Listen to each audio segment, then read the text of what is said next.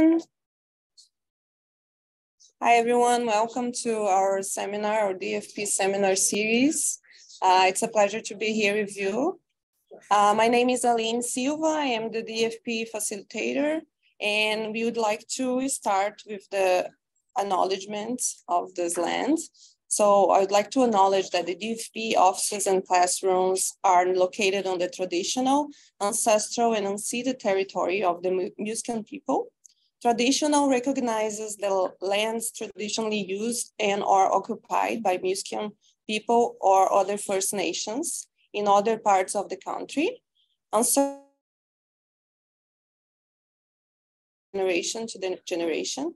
And unceded refers, refers to land that was not turned over to the crown by a treaty or other agreement.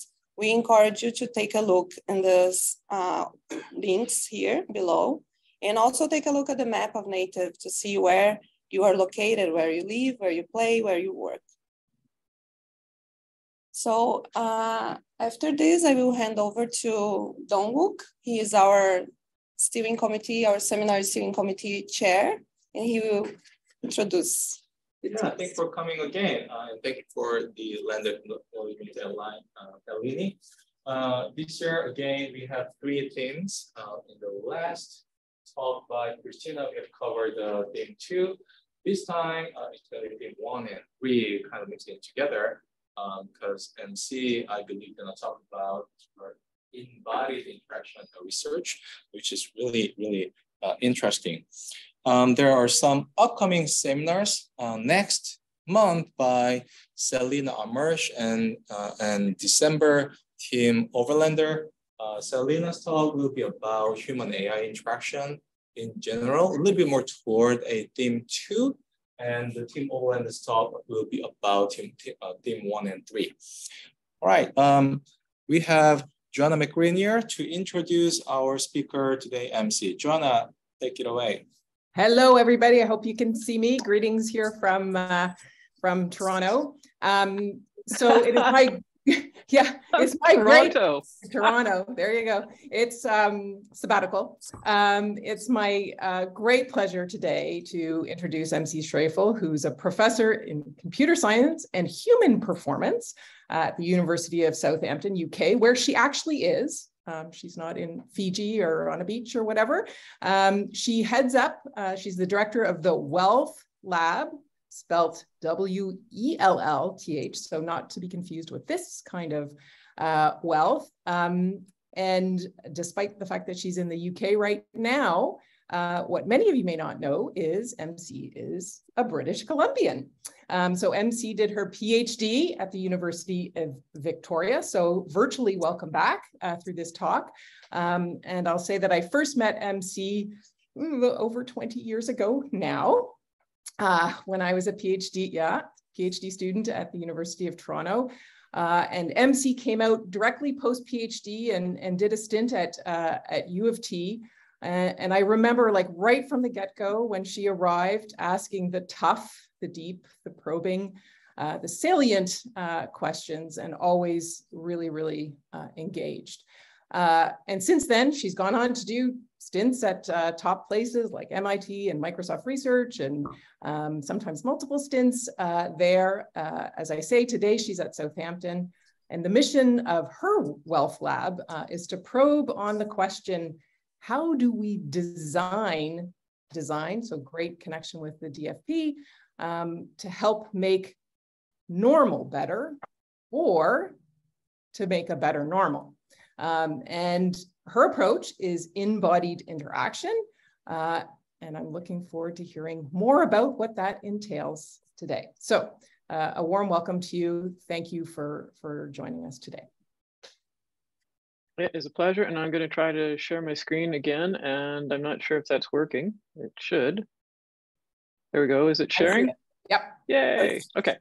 So, um, well, let me just jump right in. And for those of you with your cameras ready, we're hiring. So if you feel like having a jump over as a postdoc or research fellow in the WellthLab after you hear this talk, um, talk to me about it. Would love to spend some time uh, with you uh, ex explore the fjords uh the no just kidding anyway but but do think about this so what i'd like to take you on today is more of a of a journey. It's first time i've kind of presented it in this way with you and i wanted to say thank you so much for the opportunity to share these ideas with you get your feedback and, and thoughts on them and see what we can collaborate um, around if the, these ideas are, are catchy for you, you think they might be useful and, and usable for you. And eh, because really the question is, is when we look at, at how do we design the future work, which is, which is a question that's it's coming up more and more, almost as much as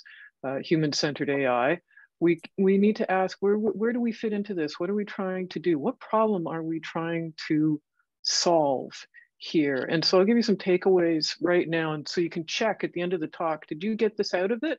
Did you spend these minutes that you'll never get back so that you got some value from this uh, proposition?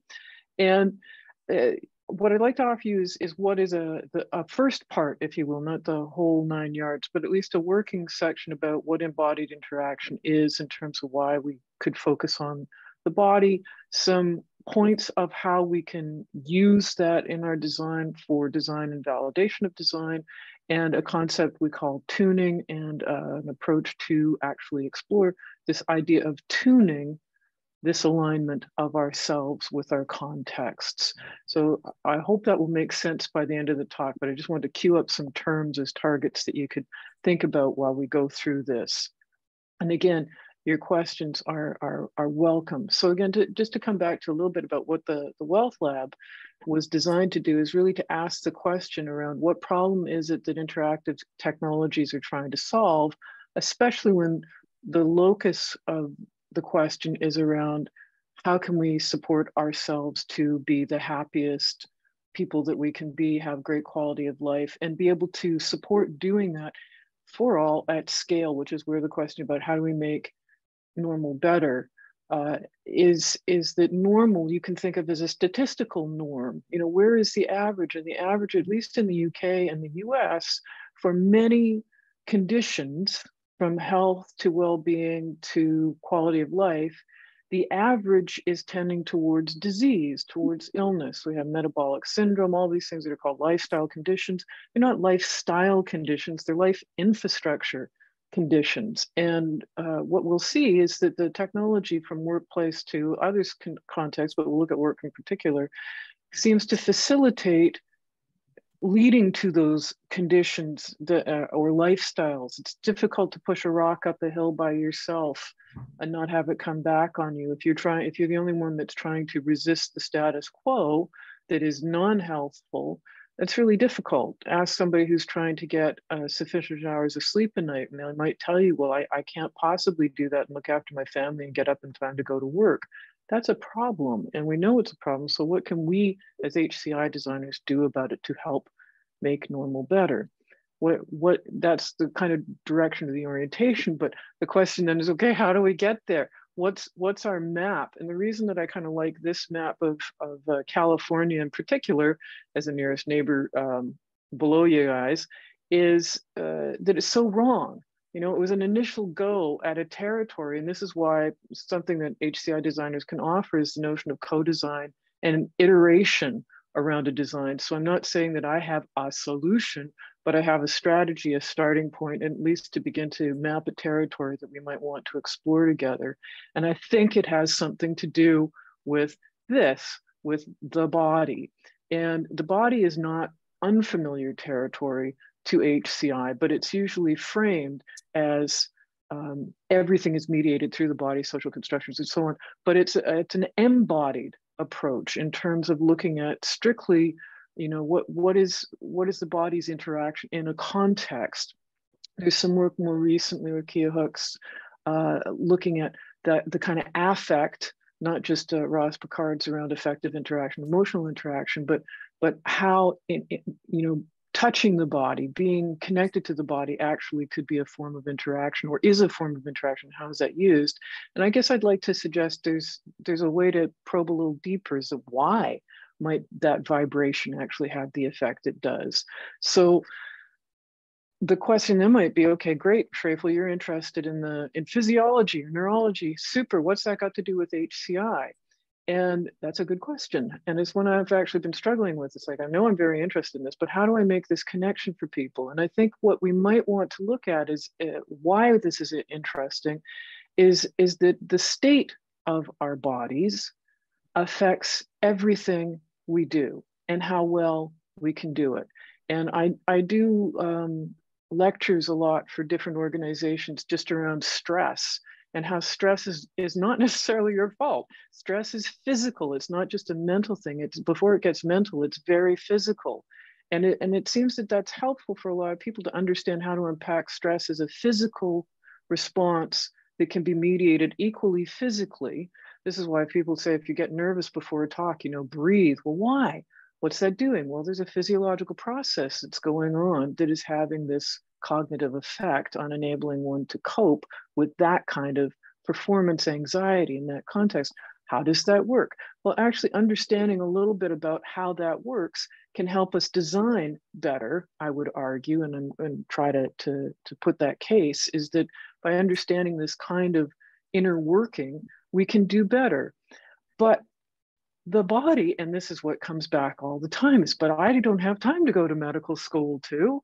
I will rely on medics to tell me about the body. I, I focus on designing systems and I totally understand that. So that's why I've designed this really simple model to deal with this awesome complexity. And this is a, the design, we'll come back to this diagram later, but it is all of the metabolic pathways that we know of it, operating in our body, and we'll talk about that in a sec. But it's pretty freaking complex, and so I am daring in in my own way to to try to simplify this into an accessible diagram that even I can draw, which is a stick figure with three layers.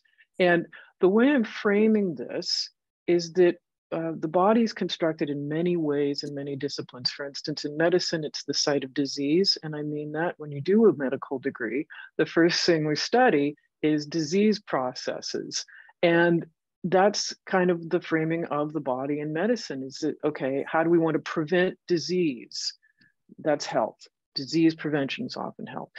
Uh, also, where my background comes in, sort of sports science as well, is that the body is, is the site of enabling a physical performance uh, and, and uh, optimizing its capacity to do incredible physical things.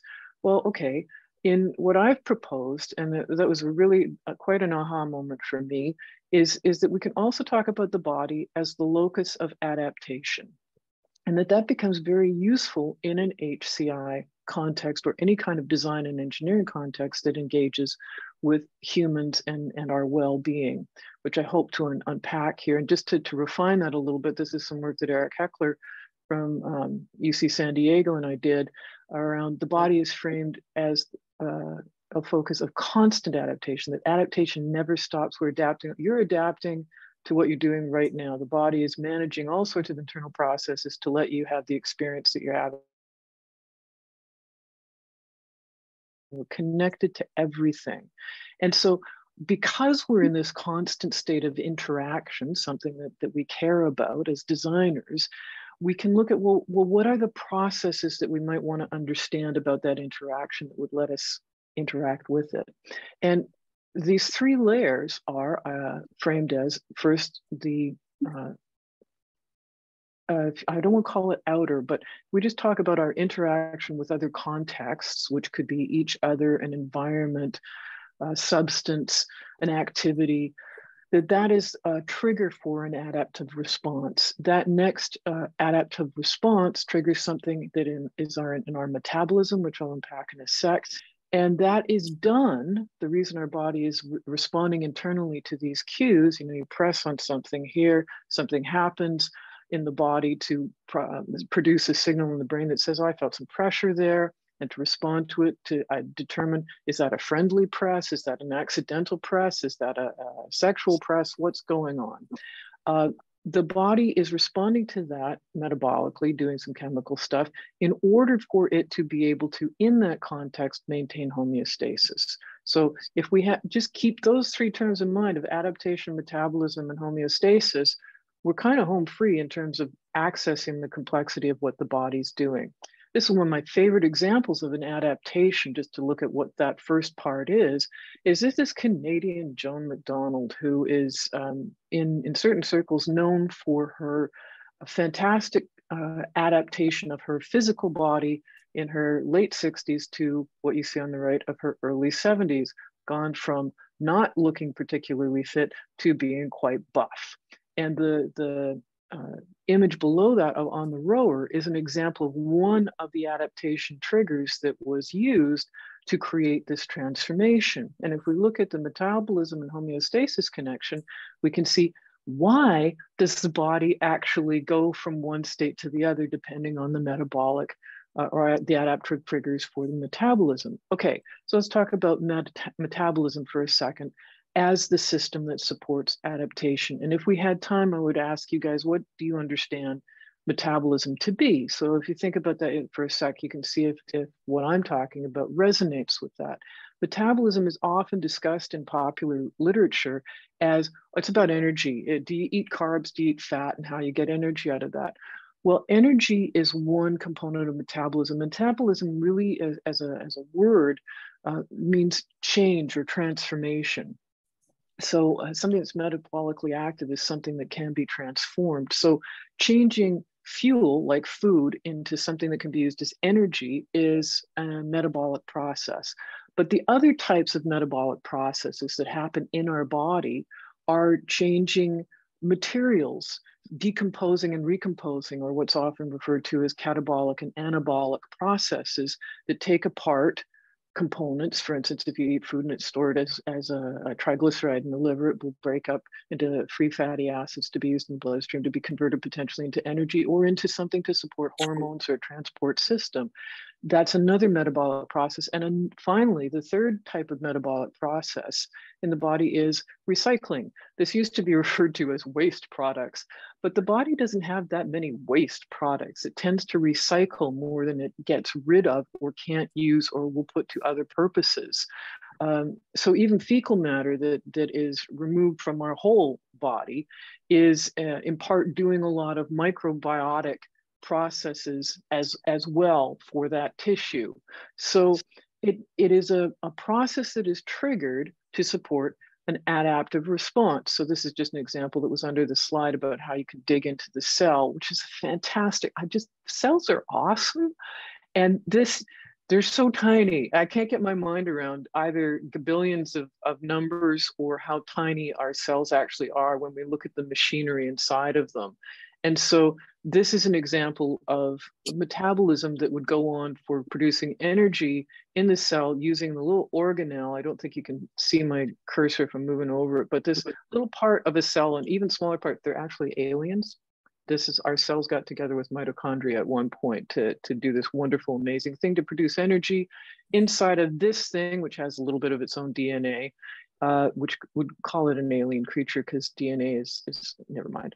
Anyway, so it does does this cool stuff along uh, the inside of it to to take in fuel, create some energy. Then along the edge of it, even getting smaller, there are these microprocesses that that create more energy along the electron transport chain that can be used by other processes, even within the cell itself, like the nucleus, to create new materials metabolize new materials for DNA strands to create hormones to tell our body stuff to do.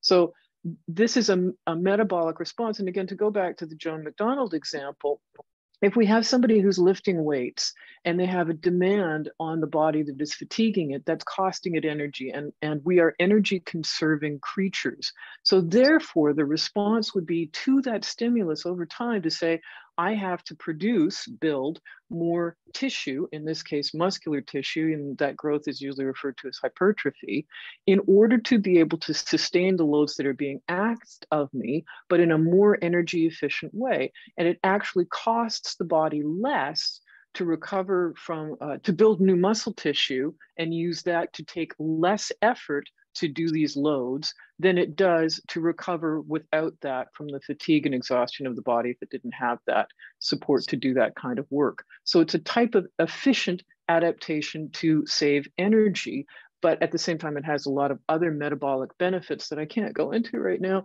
but I'd love to chat about in terms of what it does for the goodness of our body. And we'll touch on that a little bit. And again, this is metabolism in terms of the processes of assembly and disassembly. And that one bit I showed you, what the reason I'm trying to, to show you this big picture is that that uh, process is right in here in the middle where I've got metabolic human processes but that's just almost lost in the magnitude of how many other processes are going on in the body.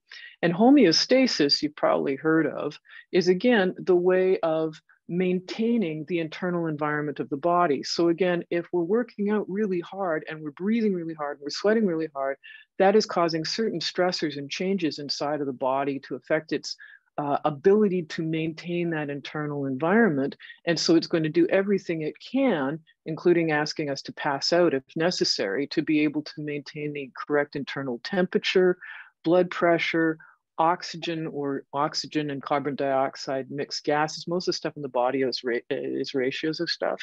And why is that important? Um, well, we don't want to die. And you see the, the uh, the interesting thing, the relationship between this and and uh, meta- I'm I'm not going to go through all the homeostasis stuff. It's fantastic. It's got my favorite cranial nerve. Cranial nerve X marks the spot. Cranial nerve 10, the vagus nerve that you hear a lot about these days. But the relationship to metabolism is that there's an interplay. It's not just metabolic response to maintain this internal environment of the correct temperature, the correct blood pressure, so we don't explode, um, and and this is this is why we die. this is how you can defeat death. In fact, is if you can maintain homeostasis forever, you don't die. And so this is why aging is now being looked at as a disease, and there's a lot of research around um, slowing down the aging process because it's it's a type of metabolic decay where the metabolism can no longer function optimally to do that rebuilding and especially the recycling part. You might hear about autophagy in, in the common parlance, but that's this is the idea of cellular death and how to clear out the, the, the, the dead bits, if you will, or recycle them appropriately. And so um, why do we need that homeostatic environment? Because chemistry has to happen in certain conditions and metabolism is all about chemistry. And for instance, if you make something too hot, if you think about cooking meat, for instance, that's muscle tissue. And if you raise the, the temperature of the muscle tissue, you'll notice it goes from being quite firm to very relaxed. Well, that's the same thing that happens to those proteins, that muscle on a very microscopic scale, that those proteins also start to change their shape. And the cool thing about communication in the body is that shape sends messages.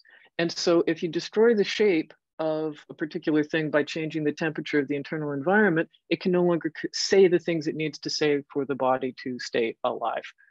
I think that's really cool. And, and I and I hope you catch a little bit of that too. But that's all great. So why why do we care? That's very nice, but how does this help us with design? Well, if we have this understanding that we're constantly adapting and, and why these processes are going on and certain processes are, then we can start to look at what I call tuning. Is that and tuning is where uh, an instrument can be tuned to itself. Anybody who who plays an instrument knows that, you, especially a stringed instrument, uh, in particular, you get a particular note, you use it to tune to the next note, and you check its harmonics and see that it's all resonating beautifully. Then you can tune one instrument to other instruments so that they can sound good together, and get rid of dissonance. You can work around tuning around all sorts of physical properties for resonance. And of course, in terms of, of dialing in a radio station, or in this case, a ham radio station, by tuning, we clean up a signal to bring it in as strong as we can. And so that's what we're trying to do with our bodies and our interaction with other bodies how can we do that using the body in order to collaborate as effectively as possible and make a beautiful noise, as it were? So, for these resonances and alignments, what we're capable of doing when we're at our best. And one of the other things I think is really compelling about starting to understand ourselves on this molecular level as well is that the boundaries called internal and external are really arbitrary we're all connected to everything. The, the smaller scale we get, the more we know that, that, that the space between us is, is an illusion. And, and that um, might sound very uh, philosophical or mystical, but it's also very physical and very useful and usable when we want to talk about what's our role in the future of work. And we'll come on to this notion about balance as well. So, how do we use this tuning? What are the fundamental notes, if you will, that we can use to tune? And the ones that I've been looking at over the past several years are what I call the in5 and the C4, or the embodied five and the circumbodied four. And what these are, I won't go into the proofs behind these, but move, engage, eat, cogitate, and sleep are the only five non-invasive ways that we can affect our physical performance and that are fundamental. Uh, the death results uh, when we exclude them or we go crazy. You know, think about sleep deprivation or isolation. Uh, the effects of loneliness are, are bigger killers, loneliness, than all the, the lifestyle diseases put together. I was horrified by that statistic, but it's well supported. The other thing, again, about us being connected to everything is the, the circumbodied four here, of gravity, air, light, and the microbiome. These are parts of our environment that we've evolved in that affect literally every cell in our body. And it, gravity is, is very interesting when we look at how we are oriented to gravity in all of our movements. Here's an example of how we're connected. Um, light is mission as it comes up as possible is, is huge. It hits our eyes, which triggers the relatively recently discovered suprachiasmatic nuclei, which then goes on to have an adaptive response to setting our circadian rhythm most, well, all of our internal organs have what these things are called clock genes that get synchronized by this process. When we synchronize to that process, that helps us maintain, that's a metabolic process, helps us maintain homeostasis of sleep. There's something called sleep pressure that affects when we feel like we need to go to sleep and also when we feel we want to wake up. And so when we do not have these connections to our outer environment, to proper light signaling, our metabolic responses can get screwed up and are therefore our homeostatic state around sleep can get screwed up.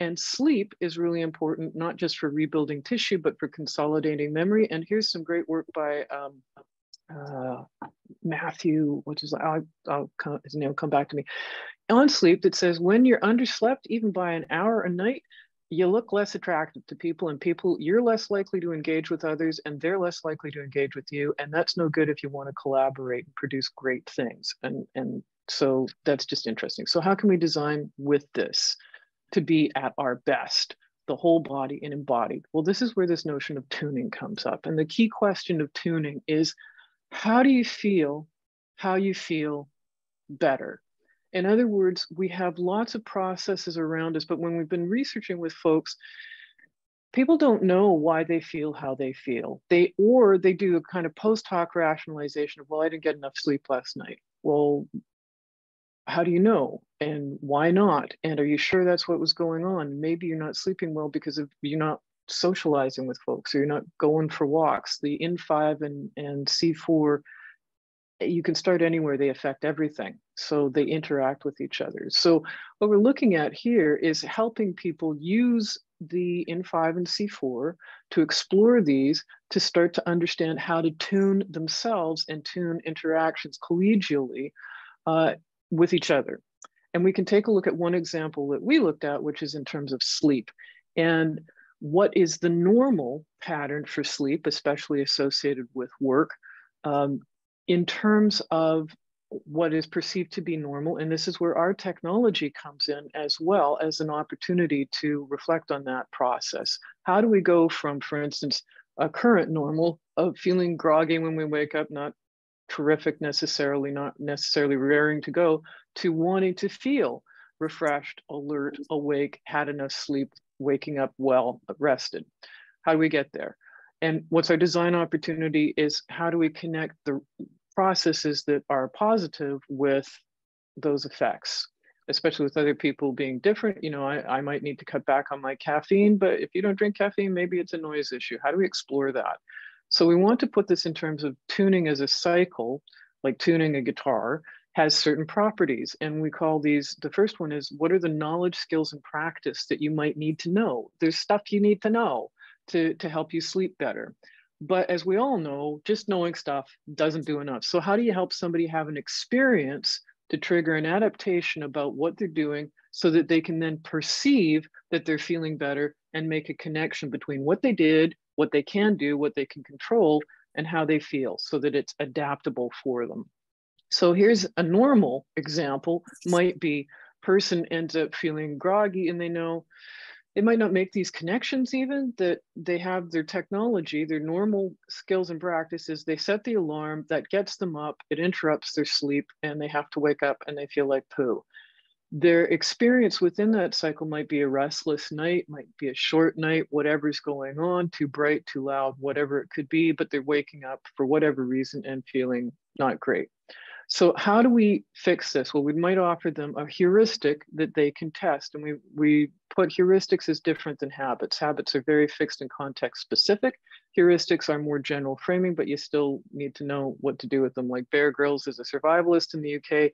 He says, oh, to survive anywhere, you need to have protein, shelter, and water in that order. That's fantastic, but how do you instantiate protein if you're in the desert versus uh, in the tundra? So this is why we need to know stuff. We, we did a, a, piece of work called Experiment in a Box. This is again with Eric Hekler and my student George Merson. And uh, it talks about this, this process of how do you help somebody test something out? And this is a big part of the uh, exploration towards designing new technology is finding out what are the heuristics or the processes that work for somebody. So we had a simple app uh, this isn't what I call the best interaction in the world. You don't need an app for this, but we used it to make it more accessible for people and to guide their reflections a little bit. Where they are, we offered them a bunch of experiments that they could try around sleep, scientifically tested stuff, and say this works for some people. Does it work for you? Here's something that you can try and experiment in the box for five days. Do it, um, and you never have to do it again, but just commit to doing it for this period of time. And we call one of them kill the alarm. And we were doing this with a company actually, and we asked their managers to say, is it okay for folks, as long as they get their work done in the day, to come in at whatever time is comfortable so that they can wake up without having the alarm go off? And the managers were way more supportive of this than the staff who were terrified that if they didn't come in on time, there'd be social punishment for that. So that's where you we got to think about culture in which these experiences happen. What we found out is that some of the responses we got from this were people saying, you know what, I've always heard that eight hours sleep was better, but I've never tested it. And this gave me the opportunity to actually test it and it's really working. And so the kinds of questions that came up about that is, do I have to do it every night? Can I take a weekend off? What, what, what happens around that? But the point is, is that we're able to allow people to explore things to find out how they work for them in what context. And we can't design an app to fit every context, but we can design these kinds of frameworks to let people explore stuff. And in fact, that's our goal in this case to help make normal better is to design technology to be useful and usable for a short period of time for people to build up the knowledge, skills, and practice they need without having to rely on an application. So it's this notion of testing heuristics to own the skills and ditch the app. Batteries shouldn't always be required. And what this also, again, comes back to us on is, is these notions of smart alarms. I'll just share this. There's no such thing. Anything that interrupts your sleep is interrupting your sleep. And if you're still asleep and your sleep's getting interrupted, you're underslept, and that's just not healthy. So the, the next question to, to come around to this is how do we take this model and think about the future of work? What is work? How do we align our designs now that we've learned something about the body's physiology, how it adapts using its metabolism to maintain homeostasis, how we can use move, engage, eat, cogitate, or sleep, any of those things to tune, help tune someone as well as to look at what's the relationship to gravity, air, light, and the microbiome. Once we've got that, we can ask questions like, well, what about work? And the reason I've got this picture of the past, if you will, is that this is sort of 450,000 years of our evolution prior to the 10,000 years ago when agriculture kicked off, uh, to say this is a pretty longitudinal study of what seemed to work. And it's very different than anything we've evolved right now, but it sure lasted for a long time in terms of the types of interactions that we see here of collaboration, problem solving, uh, time it, with rest, time with play, all these kinds of things to, we need to think about to ask the question, well, what is work? And I'm, I am not a work expert. There are great people to talk with to get to, to know more about the culture of work and how it has changed. But some of the assumptions about it uh, is what we want the future work to be. We've got the dystopian WALL-E on the one side and the utopian Star Trek as possible futures of work or non-work or work because it's it's valuable, not because you need it for money. Uh, and you have this sort of way back kind of work that could be um, romanticized into a, into a sort of collaborative, collective wonderfulness. And then we have periods of transition in between there from the very recent uh, use of slaves uh, as, as a labor force, treating uh, people and animals in, in the context of just a kind of machinery and putting people into machinery. And it hasn't changed that much. The, these two pictures, one is, is the River Rouge Ford plant that was famous around the 1914 period, and the other is 2014 Amazon. What have we learned? What are we doing? And yet, this is not how we have to be. This picture uh, on the left was actually taken in, in 2018 um, looking at how what we can learn from hunter-gatherer populations about health, well-being, and movement. And one of the outcomes of this study was, you think that walking 10K is what's good for you? These guys walk twice that. Uh, and, and here's the quality of life. And if we look at examples of, of that and hold that the in5 and C4 up to our workplaces where we might design interactive technology like great tips to you know stand up once in a while is kind of where the apple watch might be at as a workplace intervention. We can start to see things like well where's where's the light here? What are we doing with light? Is it uh, satchin panda another collaborator um, at the salk institute talks about the intensity of light is important. It's not just do we have light that will defeat our connection our connectedness to natural light but the, the quality of light in terms of intensity is so bad and it's so imbalanced that it's also unhealthful for the benefits of actually having the intensity of light that you'd get if you were outside like we seem to be wired to do.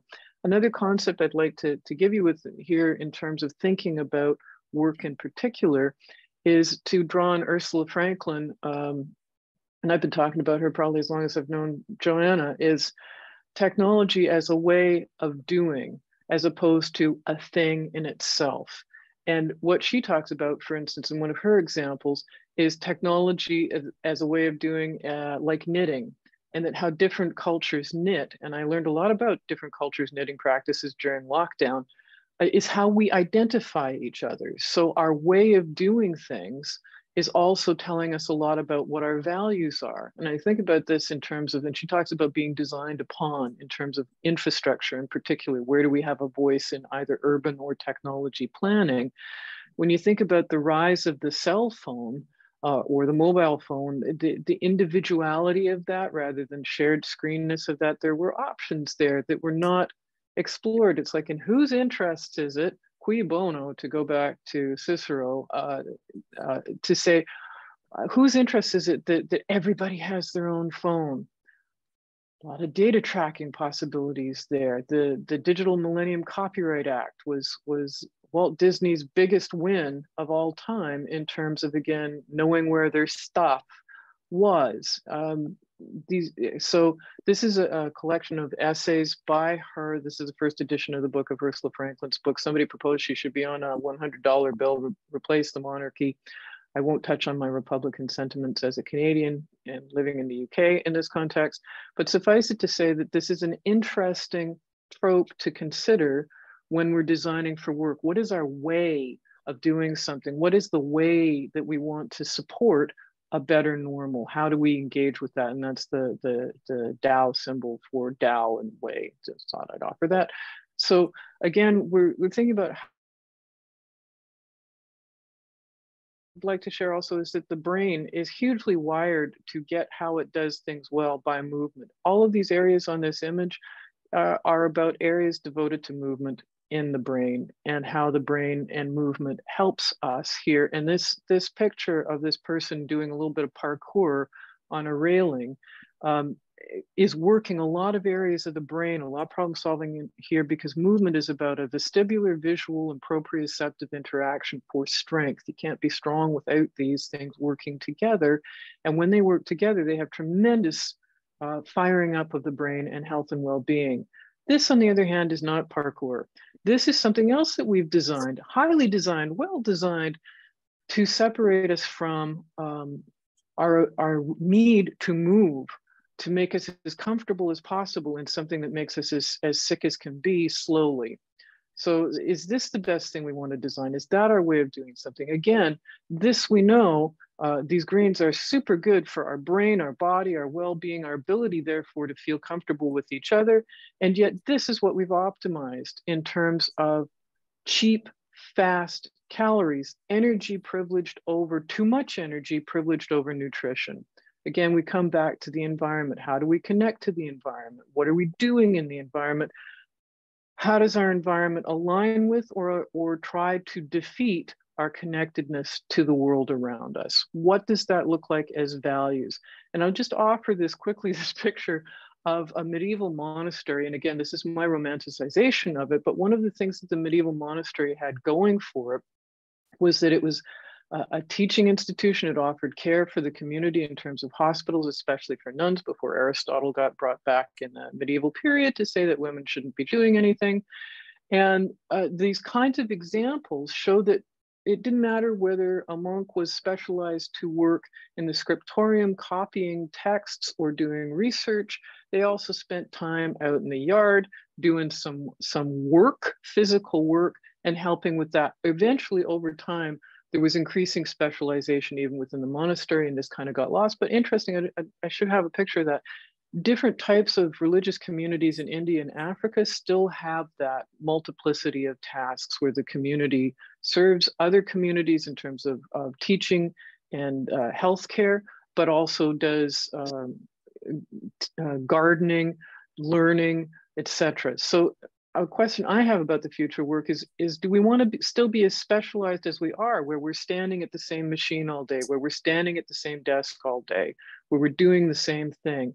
Or is there value in trying to explore tasks? Some of the stuff we're doing, I'll just touch on very briefly here, is I'm very interested in, again, from, from our doing this kind of communication, is what's the special sauce that, that makes us being in the same room together more challenging for many of us uh, to be co-present with somebody, but also sort of richer as a result. And can we synthesize that better? So while a lot of folks are looking at better comms, better video experience, I'd like to understand the physiology of co-presence better so that we can look at what can we bring to that to potentially help where that loneliness could be defeated. How do we engage better with the microbiome, with light? Where does our technology of work take us there? Also, in terms of augmented or mixed reality, we're looking at the fact that, again, movement is so critical to learning. So, that little bump at the bottom here of the brain, the cerebellum or the little brain, is we're finding it, it, it does a lot with movement. We've known that for a long time, but science is showing that it's also connected to communication and to learning and all sorts of coordination with the cognitive side of the brain. So my question is, can we blend that movement across an environment with augmentation? It doesn't have to be visual to support learning. And it's funny, there's this book, Movement and Learning in Spanish Class, which is about how to get people moving in a Spanish class. It's not about using movement to learn Spanish better, which is what we're doing. And, and that's kind of cool to think about, well, how can we use technology to help augment for instance, walking through an environment and saying, "Oh, that's a coffee shop," and how would you say that if you if you said it in Spanish? And does that help you to remember the vocabulary more mm. by engaging with that in the context of the environment and while moving? So there's some interesting, I think, explorations there.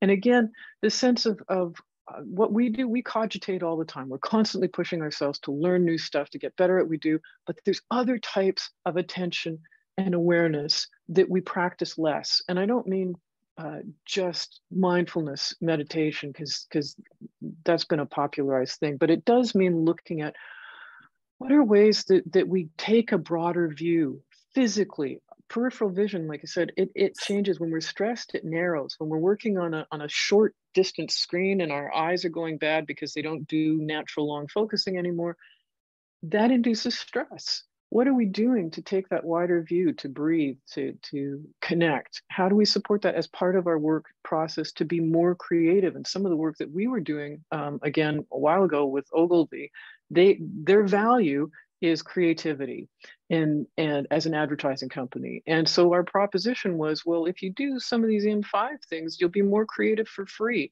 And that's a promise we can offer anybody is that if you focus on these simple principles of interaction with the body to help it work on the meeks or the gammas are N5C4, guaranteed whatever it is you value, you will be better at effortlessly because your body will be in a better state to be able to do that. So just to review where we've come from, the, the question is how and where do we get to help make normal better for all at scale? And then the WellthLab that, as Joanna kindly pointed out, W-E-L-L, is pointing at the notion of well-being, health, um, in, in the UK, well-being and usually gets just chucked into the basket of mental health, as opposed to getting that, you know what, mental health is part of the body. It's affected by your physical well-being. The brain is part of the body. My mission to help people realize that. Uh, and so we can ask these questions of how do we get there? Well, this is where we are. We've got these damn chairs, and everybody seems to know that sitting is bad for us. And yet, where are the options? They, they will be value engineered out of a purchase situation to get a standing desk yeah, behind me or a treadmill.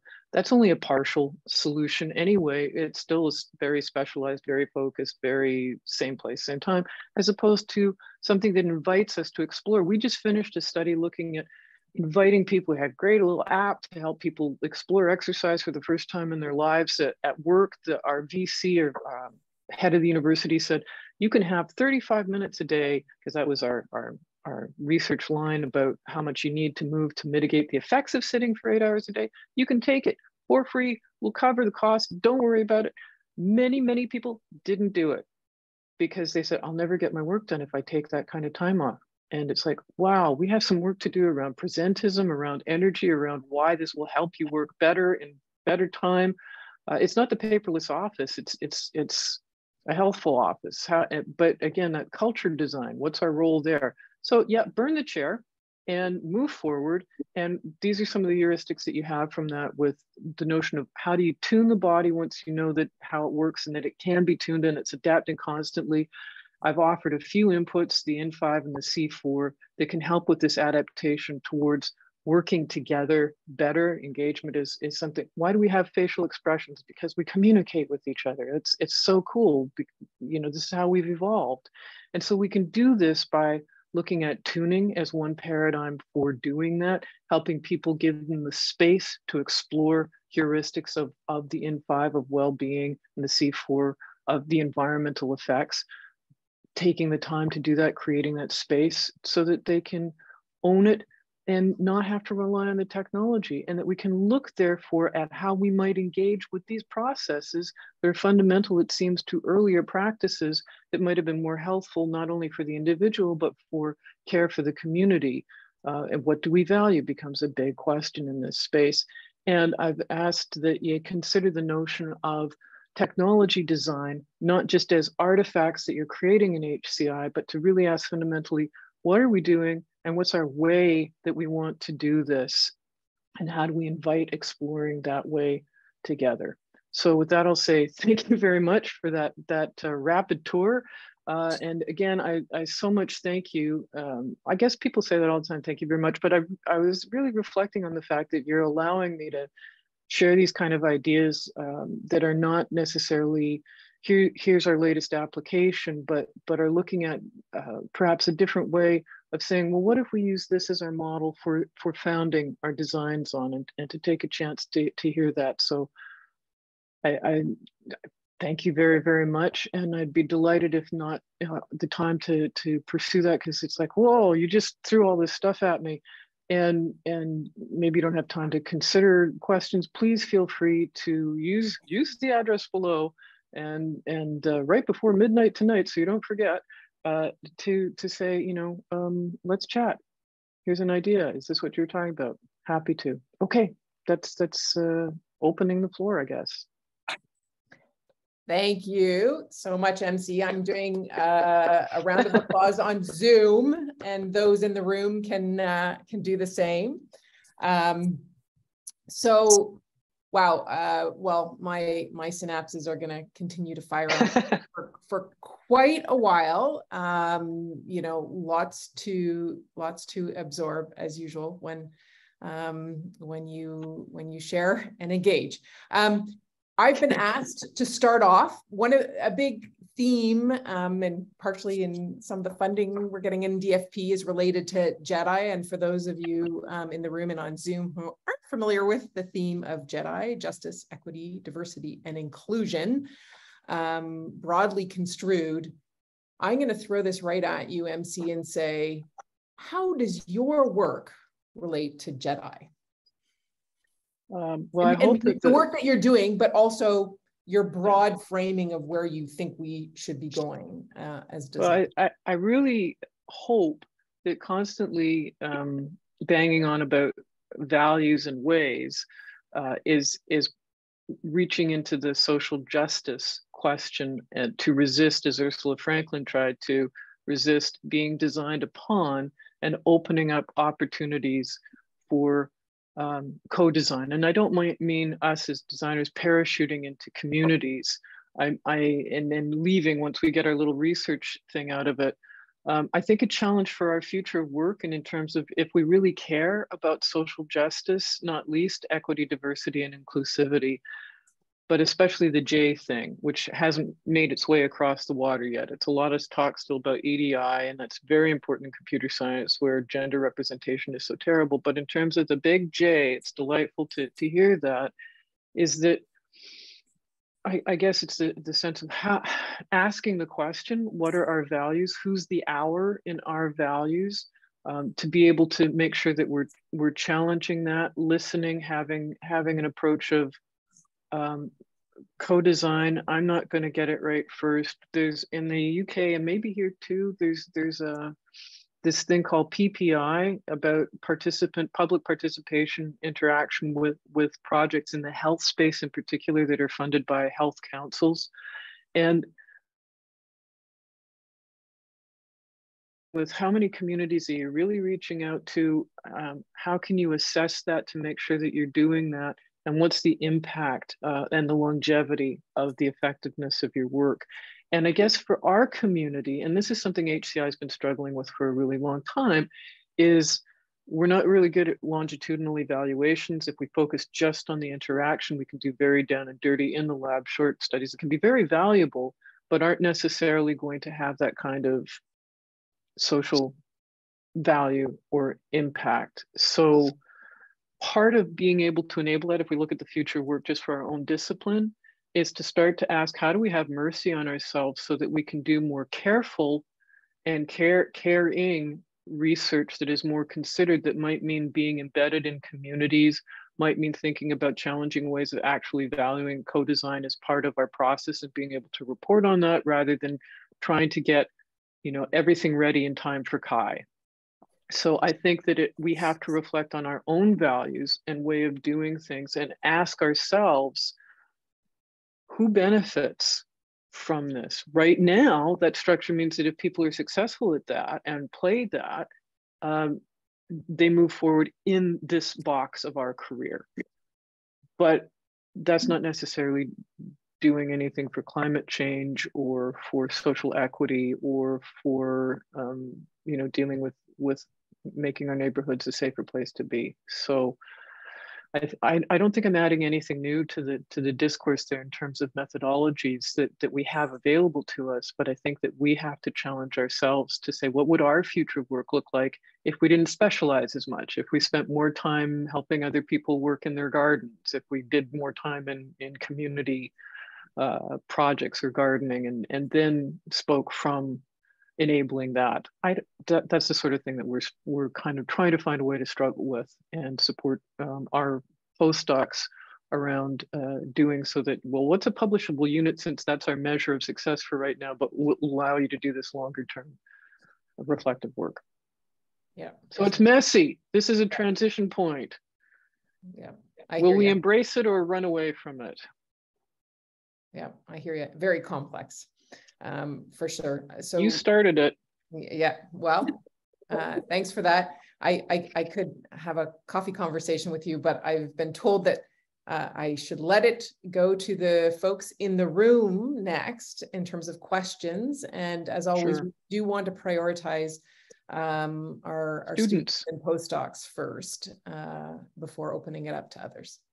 Right, so uh, thank you, Jonah and MC. Um, so here we have a microphone and we're gonna go conference style if you've been to in-person conference. So uh, if you have a question, please come up and then line up here. And then, you know, uh, in the order, we're gonna give you opportunity to ask question.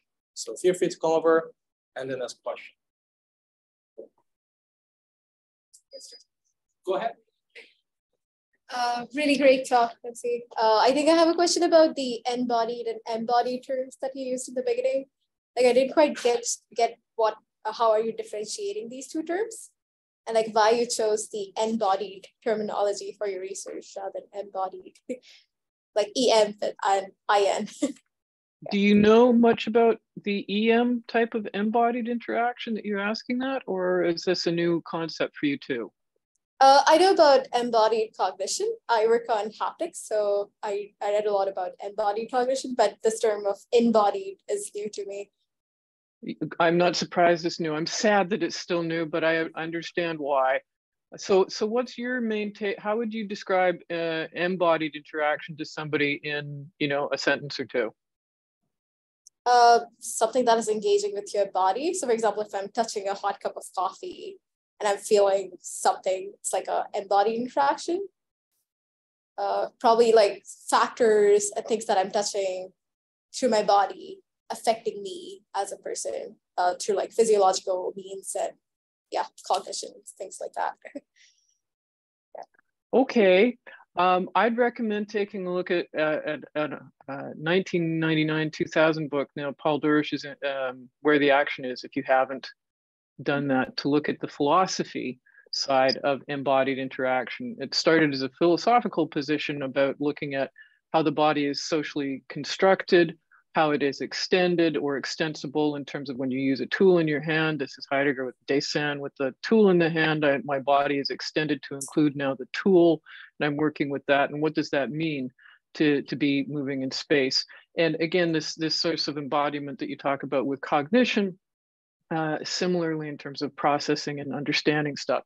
So in these cases where you talk about perception, et cetera, et cetera, embodied interaction doesn't really care about the mechanism of the interaction. It will say, here's the input, here's the output, whatever happens inside of the body is a black box what I was interested in, I hope I demonstrated in the this talk, is that it's valuable to open the lid of the box, that we can do that, and that that opens up more design opportunities by looking at the physiology, the neurology, the kinesiology, the um, endocrinology of these complex systems interactions within the body itself, and hence calling it inbodied is a play on embodied to say we're going under the embodied black box to start looking at some of these processes to see if there's value there. Thank you. Thank you, Preeti. Um, questions? Or maybe, um, Jonah, we can take questions from the uh, people online or the faculty members too, not only students. I, I just want to check that you're not running over your time too much, too badly. Okay. Out of consideration for people's schedules. I'm not sure what you had scheduled for this part. So, so often I'll just say that um, we we keep the talk and the, the first uh, bit of questions to the hour for anybody that has to right. um, jump out physically or hop on another uh, Zoom uh, session. Yeah, exactly. But often, often we do go over uh, a little okay. bit, um, but folks do know that they they are able to to take off should they need to. So, so here's my question: since I'm not seeing a bunch of people jump up, is that what are some of your takeaways from this? What are things that you might use from this or think about further?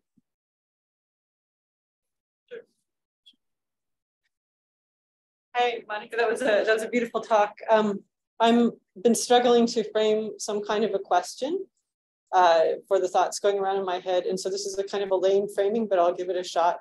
Is uh, like you talked about these small experiments that people could do to try and like wake up or wake up anytime they want and ditch the alarm and see how that feels and you know you could kind of log that and, and do experiments on yourself to try and see what actually is making it make inferences about that black box inside you.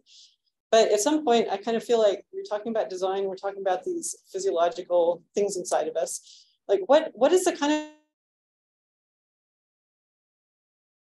like like just like help can you help us connect those dots and say i would love to get more sleep i understand that it's good for me but i also get stuck on that thing of, of you know there's too much to do and it's complex to to let go of that like how, how can design help with that i kind of feel like that's where you're getting at that's what you're telling us to do and well, what can you offer would, would that I could simply tell you what to do. Mm-hmm. Um, no, from a design view, yeah. One of the things about we we did a, a five week focused exploration about why do we eat that was a series of explorations of experiments, five experiments over six weeks actually. And again, the it depends on the person. I mean, uh, if they want to engage with this, but the opportunity that we provided was to say, look, there, let's ask the question, why do we eat? And if you want to eat to feel and burn better, that was the proposition Eat Burn Better is what it was called. It wasn't about fat loss, it was about learning how eating actually works. Then these kind of experiments that we're talking about don't really necessarily have to take a lot of time. Like the first experiment that we did in the Eat Burn Better series that the thing supported was explore what fullness feels like. Do you even know when you feel full or what that takes when you're when you're eating a meal? And we looked at the principle that it takes 20 minutes for your brain to get the signal that you you've been eating something. So how can you use that signal to help understand fullness?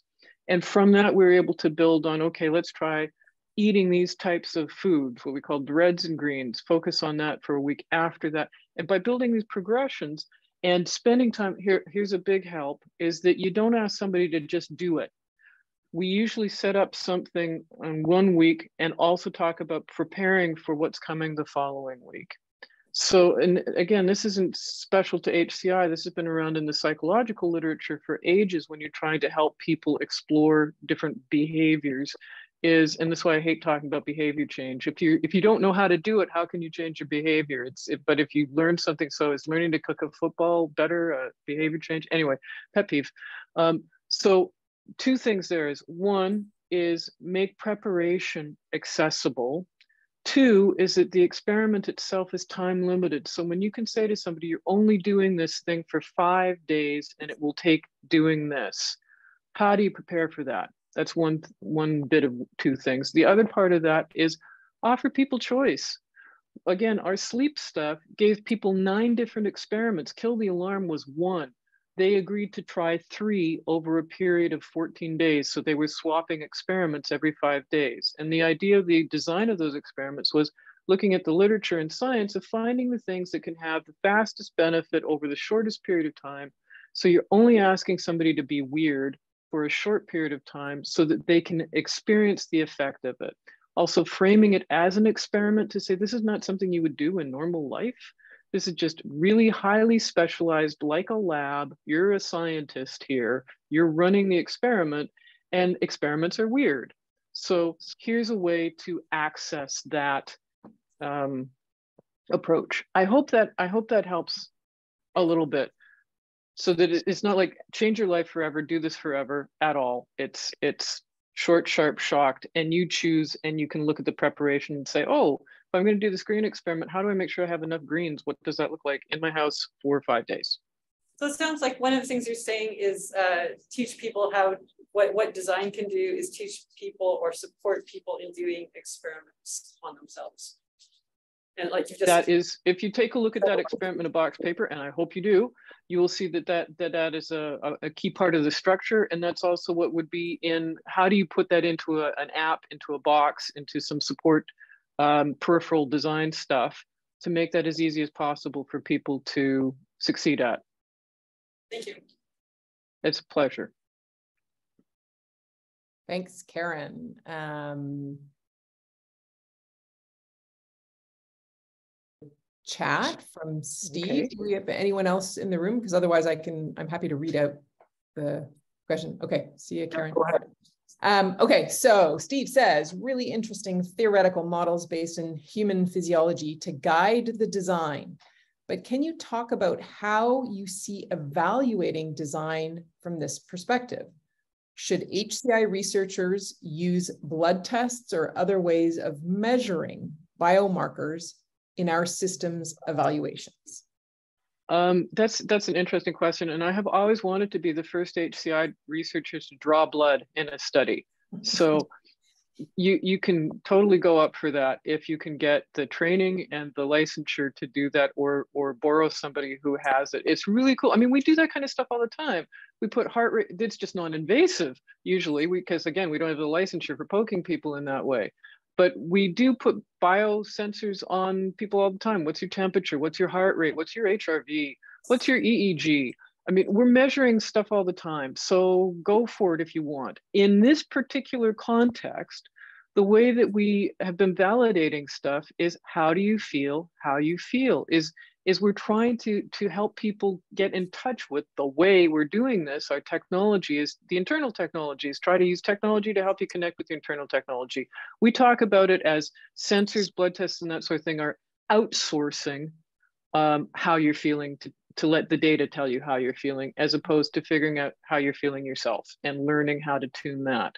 So that's why I broke up with my Apple Watch actually is that I was sick of relying on it to tell me how well I was doing something or not rather than, you know, how do I feel? Can I tune how well I feel?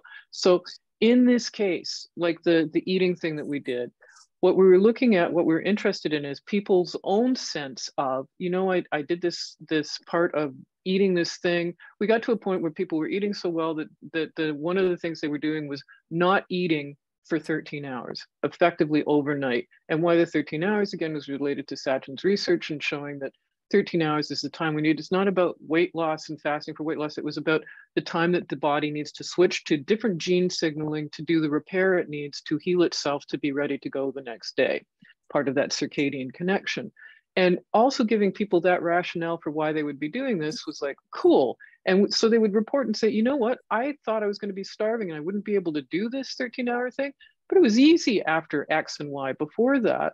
And so that kind of empowerment feeling knowing what to do getting some understanding of how that was working in their bodies was way more powerful than blood work. And here's why, because when we've done this work with other communities, I now have enough of them logged, if you will, in terms of teaching these things either as courses or running them as studies, for them to say, you know, X years now later, I'm still practicing whatever this heuristic was that I learned. Not all of them, not all the time, uh, but they still have that knowledge, skills, and practice that they are drawing on for their quality of life, and they can teach others.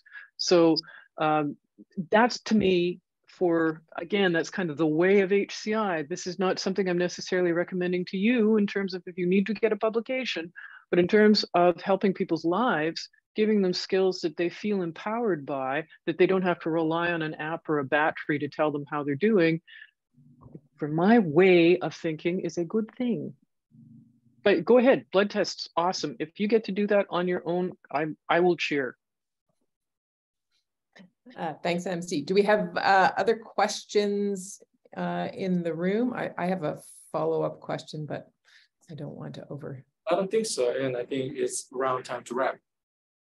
So go okay, ahead, so Joanna. I'll, I'll ask I'll ask one last question and then we'll we'll we'll wrap for those who really really have to go. But so just following up a little bit on your let me frame it as poo-pooing behavior change um, models. Um, which is probably a bit of a possibly an overstatement, but just to make a point.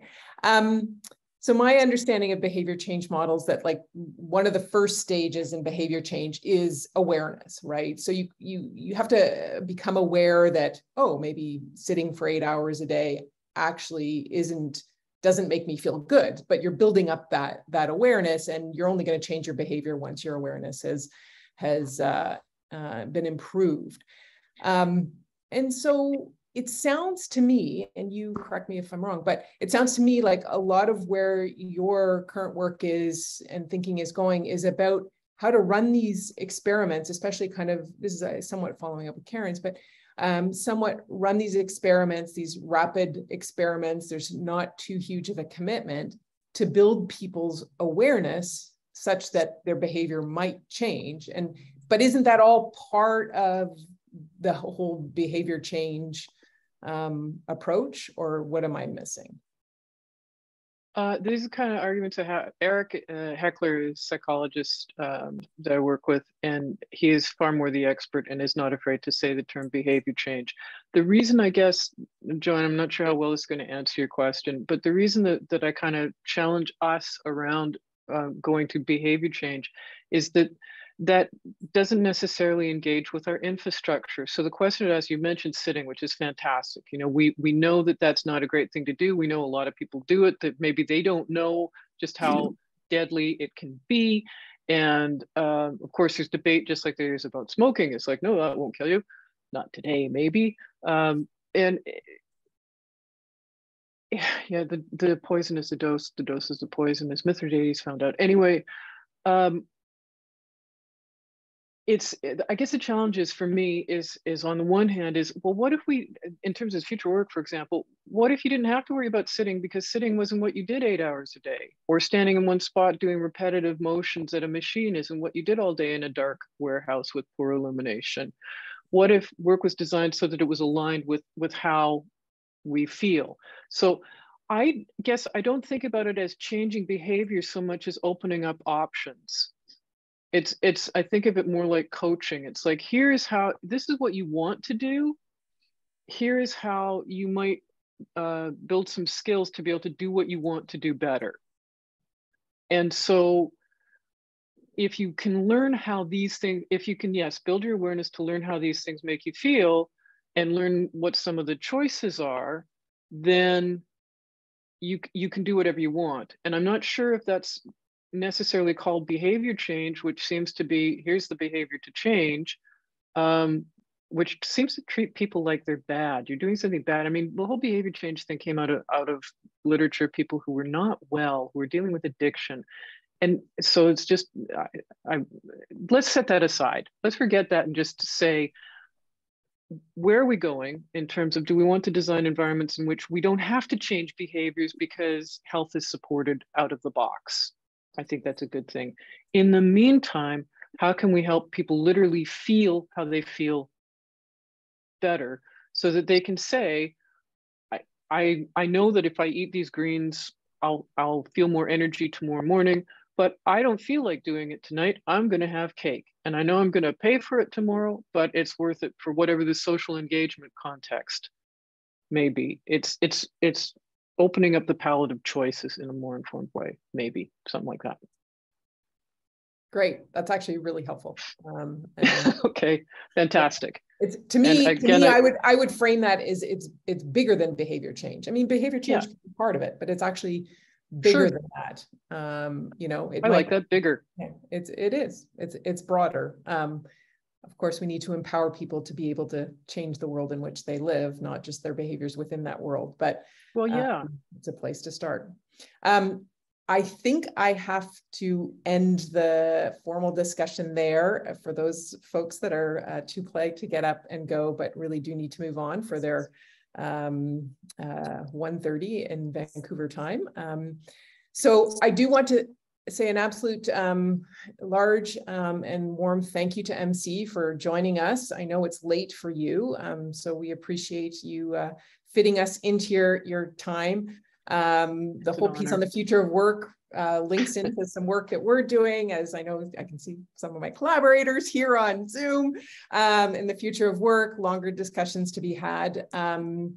You've, uh, as always, given a very thought-provoking uh, talk um, and stuff for us to, to really cogitate on deeply. Thank, Thank you. you. MC, and uh, we hope to see you back in BC at some point. Anytime, anywhere. Thank you guys for, for spending some time, and let's keep the door open. Conversation is good. Absolutely. And thanks, Dongwook and Alina, for setting us up uh, in the room. Absolutely. And, Thank you so uh, much for managing yeah, that. For managing uh, the technology. You'd think we'd have it all straight by now, but it's never straight. So, but we got it going. So thanks, everybody, and have a great uh, rest of your afternoon.